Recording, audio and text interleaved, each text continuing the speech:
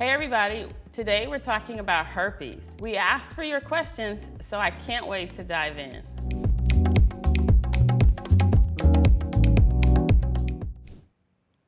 Hello, my name is Coach Coop, and I was wondering what are herpes? The simple answer is herpes is a virus. And while there are many types of herpes viruses, like chickenpox, which is also a herpes virus, when we're thinking about sexually transmitted infections, we're usually talking about herpes 1, which is found on your lip, and herpes 2, which is found in your private parts or your genitals. I'm Daniqua, and I've always wondered what the difference is between herpes 1 and herpes 2. Both herpes type 1 and herpes type 2 can lead to genital herpes. And that's because if you get oral sex from someone and they have a sore or they're close to having an outbreak, you can get herpes on your private parts. But the difference is really the location.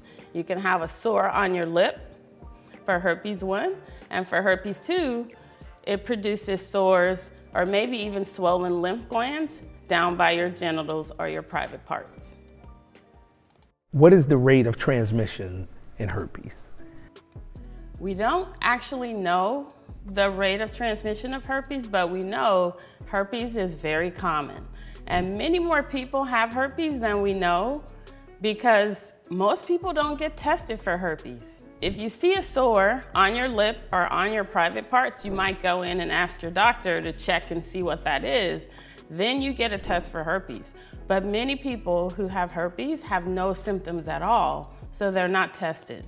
What should you do if you think you have herpes? If you think you have herpes because you have symptoms like a discharge or sores or swollen glands, go get tested for herpes. Getting tested for herpes is easy. It's a simple blood test. But if you have lesions, your doctor can swab those lesions and send a test to the lab to identify herpes. Um, some of the things that I've heard about herpes in the community that um, I didn't think it was um, actually like a curable disease that once you had it, it was in your body, but it is medicine that you can take to help like monitor it and keep it at a low level. That's what kind of what I've heard about it. This is a great question. It's true, there's no cure for herpes, but the good news is there's treatment for herpes. So if you have herpes, talk to your doctor about prescribing medication that you can either take every day or when you know your symptoms are coming on for an outbreak.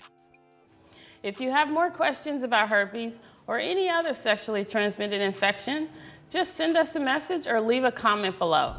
And don't forget, hit the subscribe button.